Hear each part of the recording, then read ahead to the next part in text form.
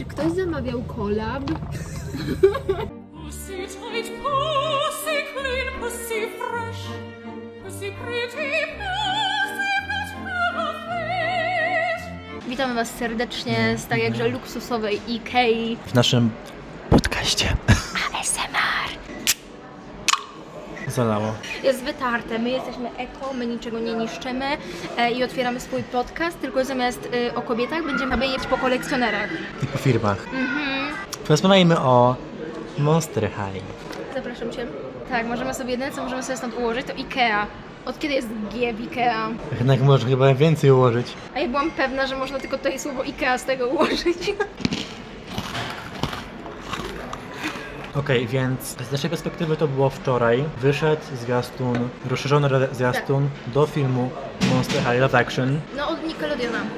I są zmiany, których nikt się nie spodziewał. Mianowicie Draculora Zajmuję się witchcraftem. Ej, ja wam muszę powiedzieć, że to jest totalnie vibe następców, więc nie wiem, czy ja jestem bardzo oburzona, bo następców lubię. Nie, znaczy to, to ma fajny vibe. To ma vibe e, domu Anubisa, następców. Taki typowy disneyowski film Disney, dla, tak, dla nastolatków. Mamy tu lepiej ukazane to, jak wyglądają postacie. Mamy Claudine. Z jakiegoś powodu Claudine, Frankie, nie wiem czy Draculora, zaczynają dzień w szkole po raz pierwszy. Na pewno Claudine i Frankie, nie wiem Draculora, No. ale to było dziwne. Jakby to było logicznie zmieniało fabułę, chociaż trochę. No ale oni strasznie mieszają w fabule. Tak. Ale jedyne, co może rekompensować to wszystko, to jest to, że w następcach były fajne piosenki i mam nadzieję, że tutaj tego nie zepsują. Ponieważ to jest jedyne, co będzie ratować ten film. Póki co piosenka, która jest na początku, Nie jest zła. nie, ma, Mi się jest podoba. okej, jest okej. Jestem ciekaw, czy będzie jednak ta odświeżona wersja Monster High Fight Song. Mogłoby być. Mi się właśnie wydaje, że oni tego nie, nie ruszą. Chyba za bardzo będą się bali. I tak jakby ta piosenka, która już jest w zwiastunie, będzie nową Fright Song. Ewentualnie dadzą Fight Song na koniec filmu, Mhm. były napisy. Ewentualnie może zrobimy jako hymn szkoły, to byłoby spoko. Żeby kolekcjonerzy się tak szybko na nich nie rzucili. Mamy też zdjęcia, jak będą mniej więcej wyglądać postacie w nowym serialu Monster High. Jest, 3D, są banery 3D. w sklepach. są banery, ale z jakiegoś powodu wcześniej pokazano grafiki. Zapraszam po odbiór galaretki z bitą śmietaną. Deuce wygląda jak żelek. Po prostu jak żelek. On wygląda jak gorący fuckboy, ale gay. Aha, no, no, no, no. W wersji 3D wygląda uroczo, nie Tak, przeszkadza mi. Draka też mi się podoba. Jest okej, ale z jakiegoś powodu Deuce i Frankie Frankie jest kuźwa smurfem. Tak. Ona jest niebieska, ona jest błękitna, Deuce jest zielony. W pierwszej serii w ogóle jak Monster High wyszło, moje serce skradła y, Claudine i zawsze byłam jej wierna, to teraz jak patrzę, najlepiej zrobili Draculorę i ona najlepiej trzyma się z nich I wszystkich. Deuce nawet nie jest, nie jest zły, tylko ten kolor taki. Znaczy wiesz co, ja mówię tutaj o lalkach, bo bezpośrednio Draculora Hand Couture też jest według mnie najładniejsza z tej trójki, dlatego Repro bardzo dobrze trzymają punkt, jeżeli chodzi e, o ułożenie twarzy. Ona jest po prostu taka kinda słodka, ale Claudine, moja Claudine, ma jedno oko mniejsze, drugie większe i w ogóle one wszystkie są jakieś takie zesrane. Z jakiegoś powodu Frankie ma protezę nogi. Ej, w sumie to ja o tym zapomniałam. Jakoś tak strasznie ominęło mnie to.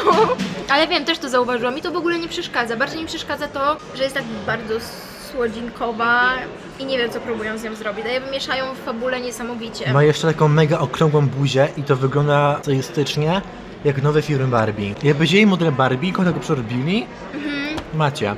Ale nie wiem, nie jestem jakoś zadowolony jak to wygląda te postacie w 3D, wolałbym 2D, bo były początkowe zdjęcia 2D.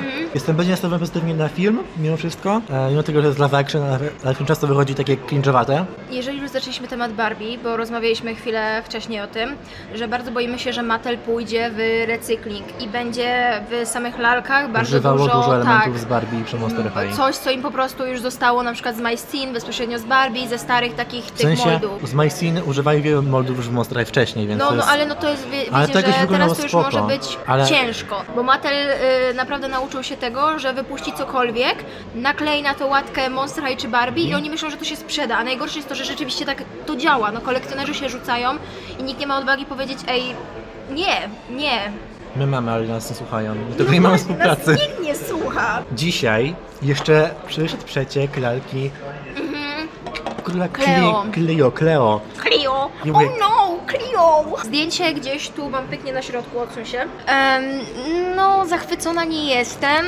Tak Ma jakby- vibe rebootu. Tak, ma bardzo duży vibe rebootu i jeżeli możecie zobaczyć w ogóle na mold twarzy, to jak rozmawialiśmy, że to jest bardzo podobne do tego, co jest w Ever After, tak? I te buzie są bardziej krąglejsze. Jeszcze, jeszcze nawet ciałka są Tak, podobne. tak. E, ale jeszcze kwestia tego, no nie podoba mi się bardzo.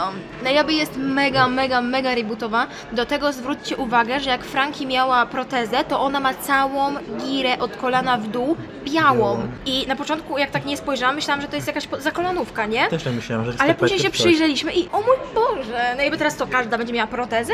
Wiesz co, może oni się właśnie patrzyli teraz na Rainbow High. No może też, ale w ogóle ja tak uważam, że Mattel nie wie, w którą stronę iść.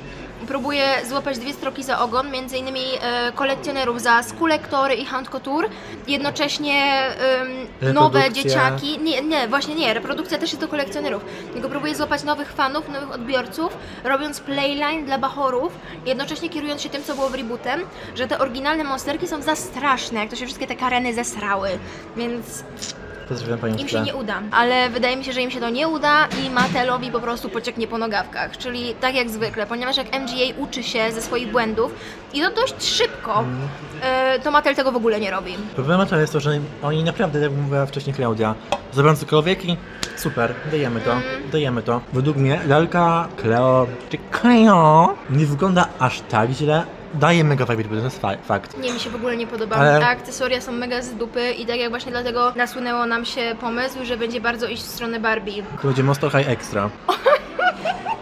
Ej, zrobili to już z Claudine z Couture, więc wiesz. Nie, ja jestem, ja jestem naprawdę przerażona tym, co widzę. A, ale nawet ogólnie styl Cleo w tym, tym na tym zdjęciu daje, daje jej z dupy nagle jakąś taką Tak. country kurtkę z takimi frędzlami, dokładnie, gdzie tu ma nagle nie? jakieś bandaże, a I w takie- ogóle tak samo te mauretańskie na ustach e, znaczniki, tak? Mhm. No jakby od kiedy to w Egipcie działa, tak? Zmienili Znaczy- zwierzaka na jakiegoś psa, co to w ogóle było. Tak, takiego małego Anubisa, tak jakby ludzie Anubisy jej usługiwały. Dlaczego nagle ma jakiegoś małego szczeniaka? O, robił i dajcie jej węża. Jakby jestem też pewny, że to jest pewnie jakiś o, użyty mold od Barbie. Oczywiście, że tak, tylko dorobione jakieś innych. uszy albo coś innego. I teraz właśnie jak chcieliśmy, wow, Monster High wraca, tak bardzo się cieszymy, coś nareszcie fajnego, nowego, creepy. Tak mi się wydaje, że i z stylówkami i w ogóle z tym wszystkim MGA ma więcej pazura niż to, co robi teraz Mattel. Mm. Tak z Shadow High naprawdę zaczynają wariować. I to jak teraz e, pokazali tą nową postać, między innymi po kolei każdą postać z, z różnego zespołu, tam zespołów, będzie tak disco, K-pop i rock. Rok? I tam jest ta taka między innymi zielonoskóra, piękna, kochana lalka i nie mogę się jej doczekać. Jestem pewny, że będzie trudna do zrobienia, że będzie dużo błędów. Tak, będzie dużo błędów, dlatego, ale my już jesteśmy trochę przyzwyczajeni do tego, że Rainbow High trzeba wybierać bezpośrednio Tak. w sklepie. Jeszcze co do Rainbow High tych zespołów, myślę, że to będzie miał mega vibe LOL MG Remix. Tak, ale nie boję się tego, bo jak ja się z lolami bardzo nie lubię, tak jak ostatnio był u mnie odcinek, to z Rainbow High jestem naprawdę ucieszona na to, co wyjdzie, bo stroje naprawdę fajnie się zapowiadają, ale Aisha jest niestety lalką z recyklingu, jest bardzo podobna do Robin, ma po prostu inną kolorystykę, co jest słabe. Chociaż kto wie, może i lalka coś tam będzie miała troszkę innego, kto wie, zobaczymy. No ale na razie są praktycznie jeden do jednego, różni je tylko kolor.